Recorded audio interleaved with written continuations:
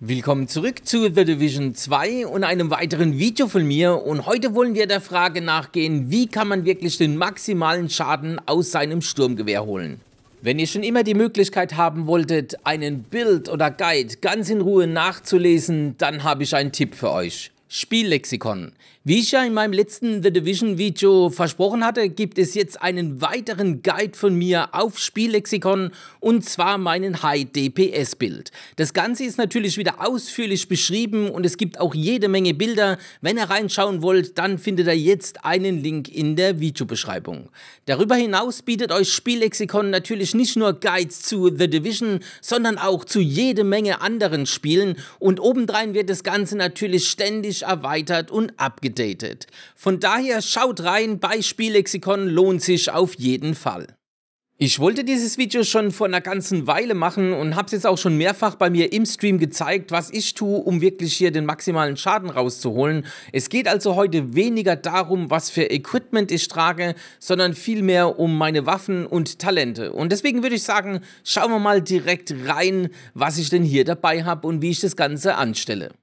Heute geht es wie gesagt hier nicht um das Equipment, das ist ein ganz normales Sturmgewehrbild. Solltet ihr doch so ein Video sehen wollen, schreibt es mir rein in die Kommentare. Wenn genug Leute daran interessiert sind, dann zeige ich euch auch dazu nochmal ein Bild. Auf was wir heute eingehen, ist erstmal die Waffe. Und ich spiele hier eine FAMAS. Ihr könntet genauso gut aber auch eine M4 Polizeiversion spielen oder jedes andere Sturmgewehr, wenn euch das liegt. Und ähm, die FAMAS, ihr seht es bei mir, hat 104k äh, Schaden und wenn ihr jetzt natürlich hergehen würdet und würdet eine ähm, AKM nehmen, zum Beispiel, die hat 144.000 Schaden, dann macht ihr natürlich noch mehr Schaden mit der Waffe. Allerdings geht es nicht darum, dass ihr den maximalen Schaden pro Kugel rausholt, weil dann könnt ihr nämlich auch Sniper spielen, sondern es geht natürlich auch um eine gewisse Schussfrequenz. Und ich habe hier 900 Schuss die Minute und hätte ich jetzt so eine AKM, dann hätte ich natürlich nur 600 Schuss Minute und äh, der Unterschied von 300 Schuss die Minute, das macht doch einiges. Also es geht nicht darum, dass ich jetzt mit der einzelnen Kugel den maximalen Schaden raushol, sondern aus dem Sturmgewehr, mit dem ich eben den besten Burst oder den besten Schaden habe, dass ich da den Schaden nochmal maximiere. Und wie kann ich das Ganze tun? Ihr seht, ich habe hier auf meiner Waffe, die ist übrigens nicht maxed out, ihr seht hier wäre durchaus nochmal einiges drin, da würden die Schadenszahlen natürlich noch höher sein. Ansonsten habe ich hier synchronisiert drauf. Warum synchronisiert? Ganz einfach deshalb, weil ich hier bis zu 30% mehr Waffen Waffenschaden rausholen kann. Und wie das dann funktioniert im Einsatz, das habt ihr vielleicht schon im Gameplay gesehen, darauf gehe ich aber gleich noch ein. Also ganz wichtig, wenn ihr eine FAMAS spielt, wenn ihr eine M4 spielt oder eine andere Waffe, ihr müsst synchronisiert drauf haben. Ansonsten haben wir die Waffe natürlich auch ganz normal gefittet, wie das ist bei so einem Sturmgewehrbild. Wir haben natürlich hauptsächlich auf kritische Trefferschaden und kritische Trefferchance äh, Wert gelegt. Und ansonsten haben wir ganz wichtig hier noch ein 8er Scope dabei. Denn das brauchen wir, denn wir haben auf der Brust ein Talent, was zwingend einen Achterscope braucht. Und es liegt natürlich nicht jedem von der Spielweise, aber wenn ihr den maximalen Schaden machen wollt, dann seid ihr eben schon gezwungen, hier auf dieses Achterscope zurückzugreifen.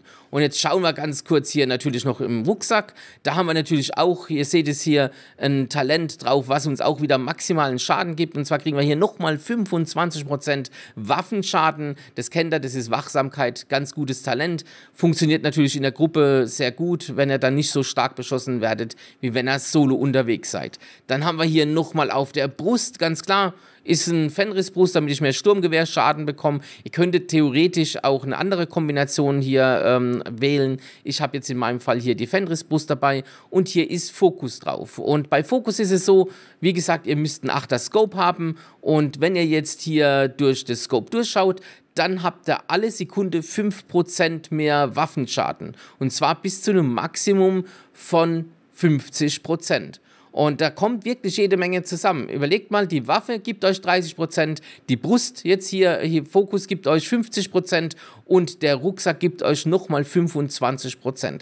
Da ist halt so jede Menge Waffenschaden am Start und damit kann man dann eben auch enormen Schaden machen. Und ich zeige euch das mal ganz kurz unten am Schießstand. Ich bin jetzt hier unten am Schießstand und werde jetzt einen Sniper-Turret benutzen, ganz einfach deshalb, damit ihr ein bisschen besser die Damage-Zahlen seht. Normalerweise benutzen wir kein Sniper-Turret, sondern nur jetzt hier unten am Schießstand und auf die Fertigkeiten komme ich gleich. Und ihr habt es gerade eben gesehen, hier mache ich fast 1,1 Millionen Schaden. Und dass das kein Zufall ist, das kann ich euch gleich nochmal zeigen. Und wenn wir jetzt hier auf Ziel schießen, dann seht ihr nochmal 1, oder fast 1,1 Millionen Schaden. Ich hatte ja gerade eben unten am Schießstand gesagt, dass ich normalerweise kein Sniper-Turret benutze, sondern ich benutze als Fertigkeit normalerweise ein ganz normales Turret oder eben die Stürmerdrohne. Und hätte ich die jetzt unten am Schießstand benutzt, hatte ich ja gerade eben schon gesagt, dann schießen die halt so schnell drauf, dass ihr schlecht die Damage-Zahlen vom Sturmgewehr gesehen hättet. Deswegen habe ich mich da unten jetzt kurz dazu entschlossen. Normalerweise spielt ihr aber eben mit einem Geschützturm oder mit der Drohne. Und die fittet ihr natürlich, dass sie möglichst lange stehen und möglichst möglichst viel aushalten und natürlich auch möglichst viel Schaden machen, denn den kann man schon durchaus mitnehmen. Wann benutze ich jetzt so einen Geschützturm? Ich benutze so einen Geschützturm immer dann, wenn ich weiß, dass es äh, ein bisschen länger dauert und dass die Gegner mein, äh, meine Fertigkeit beschießen, denn so ein Geschützturm hält einfach ein bisschen mehr aus. Und wann benutze ich eine Drohne? Immer dann, wenn ich natürlich besonders flexibel sein möchte. Und ansonsten habt ihr natürlich hier den ganz normalen Hive dabei und den benutzt ihr halt, damit er aufgehoben werdet falls es dann doch mal eng wird. Ganz kurz nochmal hier zu unserer Spezialisierung. Ihr seht, ich habe den Gunner dabei und den benutze ich immer dann, wenn ich alleine unterwegs bin, denn über den Gunner könnt ihr ja pro getöteten Gegner immer 10% äh, Rüstung zurückbekommen. Das müsst ihr nicht unbedingt mitnehmen, das ist jetzt nicht so wahnsinnig viel. Ich habe nur immer das Gefühl, das bietet mir ein bisschen mehr Überlebenspotenzial. Ansonsten bekommt er auch ein bisschen Munition zurück und ihr habt halt diese erhöhte Schussfrequenz für 5 Sekunden.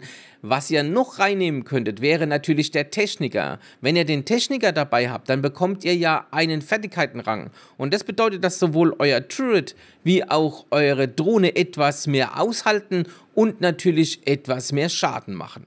Ihr werdet euch jetzt vielleicht fragen, wann kann man so ein Bild überhaupt spielen? Ihr könnt den Bild natürlich solo spielen. Das heißt, ihr habt es in meinem Gameplay gesehen, wenn ihr alleine unterwegs seid, ist gar kein Problem, kommt man mit diesem Bild wirklich sehr gut durch. Müsst natürlich ein bisschen aufpassen, weil ihr halt ansonsten keine Heilfertigkeiten dabei habt, aber es funktioniert wirklich sehr gut. Ihr könnt diesen Bild aber auch in der Gruppe spielen. In der Gruppe habt ihr einfach den Vorteil, dass ihr nicht allein das Ziel seid, sondern dass die Gegner eben auch auf eure Teammates schießen und damit habt ihr ein bisschen mehr Ruhe und könnt die Gegner stärker in den Fokus nehmen.